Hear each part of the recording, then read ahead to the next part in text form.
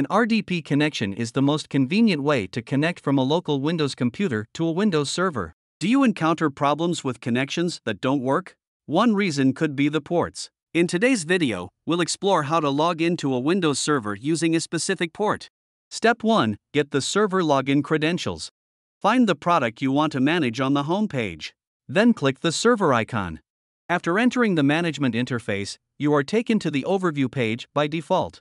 On this page, you can see the basic information of the product, including IP, operating system, login name, password, and package information. Here we should pay special attention to the port. When we log into a server, we need to enter the port. Step 2 Open RDP on the local computer. Enter RDP in the search box on the taskbar, and then click Remote Desktop Connection. Fill in the IP address followed by a colon, then the port number. Then click Connect and enter the username and login password. To make it easier to log in next time, you can click Remember Me.